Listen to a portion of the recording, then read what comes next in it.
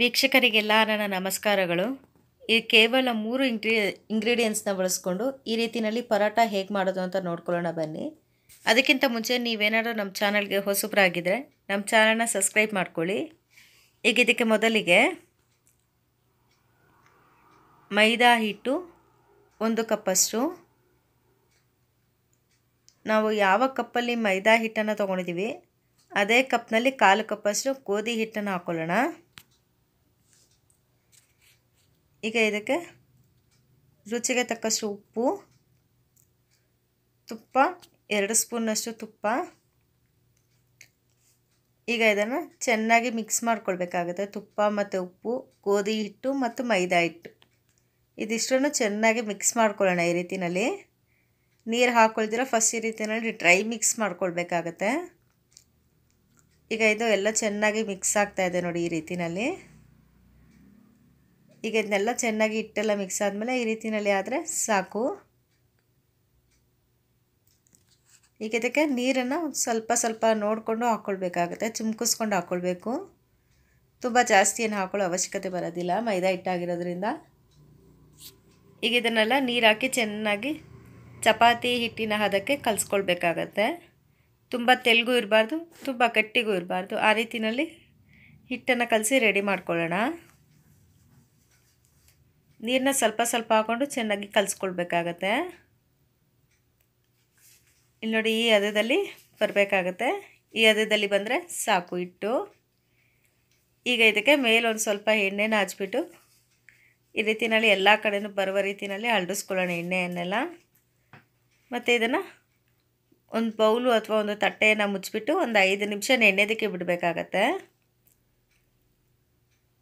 ಈ ರೀತಿಯಲ್ಲಿ ಈಗ ಐದು ನಿಮಿಷ ಆಗಿದೆ, ನೆಂದಿದೆಯಾ ನೋಡೋಣ? ಇಲ್ಲಿ ನೋಡಿ ಫ್ರೆಂಡ್ಸ್ ಈ ರೀತಿಯಲ್ಲಿ ಮೃದುವಾಗಿ ನೆಂದಿದೆ.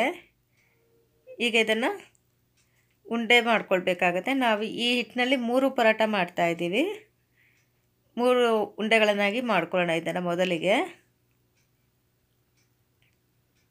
ನೋಡಿ ಫ್ರೆಂಡ್ಸ್ ಈ ರೀತಿಯಲ್ಲಿ ಮೂರು ಉಂಡೆಗಳನ್ನಾಗಿ ಮಾಡಿ ಇಟ್ಕೊಳ್ಳೋಣ.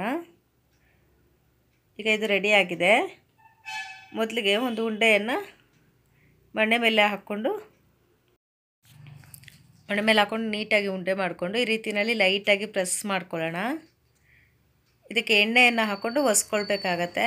ಹಿಟ್ಟು ಹಾಕ್ಕೊಂಡು ಒಂಥರ ಮೇಲೆ ಮೇಲೆ ಇಟ್ಟಿಟ್ಟು ಥರ ಕಾಣುತ್ತೆ. ಚೆನ್ನಾಗಿ ಕಾಣೋದಿಲ್ಲ. ಮತ್ತು ತಿನ್ನುವಾಗಲೂ ಅಷ್ಟು ಒಂಥರ ಹಿಟ್ಟಿಟ್ಟು ಥರ ಅನಿಸುತ್ತೆ. ಅದಕ್ಕೋಸ್ಕರ ಎಣ್ಣೆನ ಹಾಕ್ಕೊಂಡು ಈ ರೀತಿಯಲ್ಲಿ ತೆಳುವಾಗಿ ಲಟ್ಟಿಸ್ಕೊಳ್ಬೇಕಾಗತ್ತೆ. ಚಪಾತಿಗಿಂತ ಸ್ವಲ್ಪ ತೆಳುವಾಗಿರಲಿ. ಈಗ ಇದಕ್ಕೆ ಒಂದು ಬ್ರಷ್ನ ಸಹಾಯದಿಂದ ಎಣ್ಣೆನ ಹಚ್ಕೊಳ್ಬೇಕಾಗತ್ತೆ ಈ ರೀತಿಯಲ್ಲಿ. ಎಲ್ಲ ಕಡೆಯೂ ಬರುವ ರೀತಿಯಲ್ಲಿ ಎಣ್ಣೆನ ಹಚ್ಕೊಳ್ಳೋಣ. ಸ್ವಲ್ಪ ಎಣ್ಣೆ ಹೆಚ್ಚಾಗಿ ಹಾಕ್ಕೊಳ್ಬೇಕಾಗತ್ತೆ. ಈಗ ಇದನ್ನು ಪಿಜ್ಜಾ ಕಟರ್ನಿಂದ ಅಥವಾ ಚಾಕುವಿನಿಂದ ಕಟ್ ಮಾಡ್ಕೊಳ್ಬೇಕಾಗತ್ತೆ ಈ ರೀತಿಯಲ್ಲಿ ಆ ಕಡೆ ಈ ಕಡೆ ಸೈಡಲ್ಲಿ ಸ್ವಲ್ಪ ಸ್ವಲ್ಪ ಕ್ಯಾಪ್ ಕೊಡಬೇಕಾಗತ್ತೆ. ಕ್ಯಾಪ್ ಕೊಡ್ತಾ ಈ ರೀತಿಯಲ್ಲಿ ಎಲ್, ಎಲ್ಲ ಕಡೆಯೂ ಕಟ್ ಮಾಡ್ಕೊಳ್ತಾ ಹೋಗೋಣ. ಇಡೀ ಪರೋಟ ಫುಲ್ಲು ತೆಳುವಾಗಿ ಒಸ್ಕೊಂಡಿದ್ದೀವಲ್ವ ಆ ಹಿಟ್ಟನ್ನು? ಈ ರೀತಿಯಲ್ಲಿ ಕಟ್ ಮಾಡ್ಕೊಳ್ತಾ ಹೋಗೋಣ. ಸಣ್ಣ ಸಣ್ಣ ಲೇಯರ್ಗಳ ಹಾಗೆ. ಈಗ ಇದನ್ನು ಒಂದು ಚಾಕು ಅಥವಾ ಒಂದು ಫೋಕ್ ಸ್ಪೂನಲ್ಲಿ ಈ ರೀತಿಯಲ್ಲಿ ಲೈಟಾಗಿ ಪ್ರೆಸ್ ಮಾಡ್ಕೊಳ್ತಾ ಸುತ್ತಕೊಳ್ತಾ ಹೋಗಬೇಕಾಗತ್ತೆ. ಈ ರೀತಿಯಲ್ಲಿ ಬಿಡಿಸ್ಕೊಳ್ತಾ ಹೋಗೋಣ. ಎಣ್ಣೆ ಹಾಕಿರೋದ್ರಿಂದ ಈಸಿಯಾಗಿ ಬರುತ್ತೆ. ಈ ರೀತಿಯಲ್ಲಿ ಎಲ್ಲವನ್ನು ಪ್ರೆಸ್ ಮಾಡ್ಕೊಳ್ತಾ ತೊಳ್ಕೊಳ್ತಾ ಹೋಗೋಣ. ಫುಲ್ಲು ರೋಲ್ ಮಾಡ್ಕೊಳ್ಬೇಕಾಗತ್ತೆ ಈ ರೀತಿಯಲ್ಲಿ. ರೋಲಿಂಗ್ ಟೈಪ್ನಲ್ಲಿ. ಈಗ ಇದು ನೋಡಿ ಈ ರೀತಿಯಲ್ಲಿ ಎಲ್ಲ ಬರ್ತಾ ಇದೆ ಲೇಯರ್ಸ್ಗಳು ಕೂಡ. ಫುಲ್ಲೂ ಇದೇ ರೀತಿಯಲ್ಲೇ ತಕ್ಕೊಳ್ತಾ ಹೋಗೋಣ. ಸ್ಮೂತಾಗಿ ಮಾಡಬೇಕು. ಸ್ಮೂತಾಗಿ ಮಾಡಿದ್ರೆ ಚೆನ್ನಾಗಿ ಬರುತ್ತೆ ಪದ್ರ ಪದ್ರಗಳು ಅದಕ್ಕೋಸ್ಕರ. ನೋಡಿ ಫ್ರೆಂಡ್ಸ್ ಈ ರೀತಿಯಲ್ಲಿ ಫುಲ್ಲು ಆಗ್ತಾ ಇದೆ ನೋಡಿ.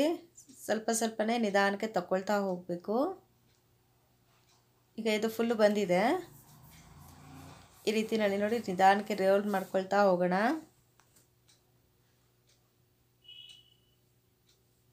ಇದೀಗ ಫುಲ್ಲು ಬಂದಮೇಲೆ ಈ ರೀತಿಯಲ್ಲಿ ಸೈಡಿಗೆ ಹಾಕು. ಒಂದು ಕಡೆ ಇಟ್ಕೊಂಡು ಇದಕ್ಕೆ ಇಲ್ಲ ಈಗ ಒಂದು ಬ್ರಷ್ನಲ್ಲಿ ಎಣ್ಣೆನ ತೊಗೊಂಡು ಈ ರೀತಿಯಲ್ಲಿ ಎಲ್ಲ ಕಡೆ ಖಾಲಿ ಇರೋ ಜಾಗಗಳಲ್ಲೆಲ್ಲ ಎಣ್ಣೆನ ಹಚ್ಕೊಳ್ಬೇಕಾಗತ್ತೆ.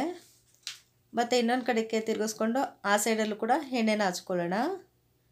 ಎರಡು ಸೈಡಲ್ಲೂ ಎಣ್ಣೆನ ಹಚ್ಕೊಂಡಾದ್ಮೇಲೆ ಈಗ ಒಂದು ತುದಿನ ಫೋಲ್ಡ್ ಮಾಡ್ಕೊಳ್ತಾ ಈ ರೀತಿಯಲ್ಲಿ ಸುತ್ಕೊಳ್ತಾ ಹೋಗ್ಬೇಕಾಗತ್ತೆ ಉಂಡೆ ಥರ ನೋಡಿ ಈ ರೀತಿಯಲ್ಲಿ ಈಗ ಉಳಿದಿರುವಂಥದ್ದು ಕೆಳಗಡೆ ಬರುವ ರೀತಿಯಲ್ಲಿ ಪ್ರೆಸ್ ಮಾಡ್ಕೊಳ್ಬೇಕಾಗತ್ತೆ. ನೋಡಿ ಈ ರೀತಿಯಲ್ಲಿ ಲೇಯರ್ ಬರುತ್ತೆ. ಈಗ ಇದನ್ನು ಅಂಗೈಯಲ್ಲಿ ಪ್ರೆಸ್ ಮಾಡ್ಕೊಳ್ಬೇಕು. ಏಕೆಂದರೆ ಸ್ವಲ್ಪ ಅಗಲವಾಗಿ ಬರುತ್ತೆ ಅಂಗೈಯಲ್ಲಿ ಪ್ರೆಸ್ ಮಾಡ್ಕೊಳ್ಳೋದ್ರಿಂದ. ಈಗ ಇದನ್ನೆಲ್ಲ ಮಾಡ್ಕೊಳ್ಳೋಷ್ಟೊತ್ತಿಗೆ ಒಲೆ ಮೇಲೆ ಇಂಚನ್ನು ಇಟ್ಕೊಳ್ಳೋಣ. ಇಂಚು ಕಾಯ್ತಾ ಇದೆ. ಈಗ ಅದಕ್ಕೆ ಎಣ್ಣೆನ ಹಚ್ಕೊಳ್ಬೇಕಾಗತ್ತೆ ಮೊದಲಿಗೆ. ಈಗ ಎಣ್ಣೆನೆಲ್ಲ ಹಚ್ಕೊಂಡಾದ್ಮೇಲೆ ಈಗ ಪ್ರೆಸ್ ಮಾಡಿ ರೆಡಿ ಮಾಡಿ ಇಟ್ಕೊಂಡಿದ್ವಲ್ವ? ಪರೋಟ ರೆ ಪರೋಟ? ಈಗ ಅದನ್ನು ಹೆಂಚ ಮೇಲೆ ಹಾಕ್ಕೊಳ್ಳೋಣ ಈ ರೀತಿಯಲ್ಲಿ ಎಲ್ಲ ಕಡೆ ಸುತ್ತಲೂ ಎಣ್ಣೆ ಹಾಕ್ಕೊಳ್ಬೇಕಾಗತ್ತೆ ಇದೊಂದು ಸ್ವಲ್ಪ ಮೇಲೆಗಡೆ ಕಲರ್ ಚೇಂಜ್ ಆಗೋವರೆಗೂ ತಿರ್ವಾಕೊಳ್ಳೋದಕ್ಕೆ ಹೋಗಬಾರ್ದು. ಇಲ್ಲಿ ನೋಡಿ ಫ್ರೆಂಡ್ಸ್ ಈಗ ಇದು ಸ್ವಲ್ಪ ಸ್ವಲ್ಪನೇ ಕಲರ್ ಚೇಂಜ್ ಆಗ್ತಾ ಇದೆ ಈಗ. ಈಗ ಇದನ್ನು ಉಲ್ಟಾ ಮಾಡ್ಕೊಳ್ಳೋಣ. ಇಲ್ಲಿ ನೋಡಿ ಉಲ್ಟಾದಲ್ಲಿ ಎಷ್ಟು ಚೆನ್ನಾಗಿ ಬಂದಿದೆ. ಪರಾಟ. ಎರಡು ಎರಡು ಕಡೆನೂ ಕೂಡ ಗೋಲ್ಡನ್ ಬ್ರೌನ್ ಬರೋವರೆಗೂ ಉರಿ ಕಡಿಮೆ ಇಟ್ಕೊಂಡು ಬೇಯಿಸ್ಕೊಳ್ಬೇಕಾಗತ್ತೆ. ಉರಿ ಜಾಸ್ತಿ ಕೊಟ್ಟರೆ ಸೀದೋದಂಗೆ ಆಗುತ್ತೆ ಅದಕ್ಕೋಸ್ಕರ. ನೋಡಿ ಫ್ರೆಂಡ್ಸ್ ಎಷ್ಟು ಚೆನ್ನಾಗಿ ಬಂದಿದೆ ಪರಾಟ ನೀವು ಕೂಡ ಈಸಿನಲ್ಲಿ ಮನೆಯಲ್ಲೇ ಟ್ರೈ ಮಾಡ್ಬೋದು. ಮತ್ತು ಯಾವ ರೀತಿ ಬಂತು ಅಂತ ಕಮೆಂಟ್ಸ್ ಮೂಲಕ ನಮಗೆ ತಿಳಿಸಿ ಲೈಕ್ ಮಾಡಿ ನಮ್ಮ ಚಾನಲ್ಗೆ ಸಬ್ಸ್ಕ್ರೈಬ್ ಮಾಡಿ. Thank you friends